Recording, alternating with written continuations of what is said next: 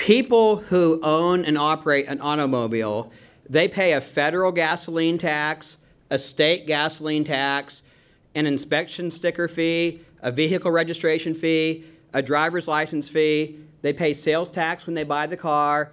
They pay a tire tax on every tire they buy. They pay uh, a tax on car leases if they lease their, their car. They pay for parking. They pay for parking tickets. They pay tolls and they pay for traffic tickets. People who own and operate cars, they're paying for roads and bridges.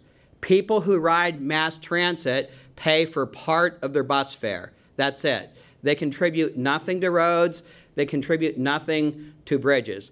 Governor Corbett, Senate Bill 1, and the House Transportation Committee, they want people who own and operate cars to subsidize mass transit riders even more.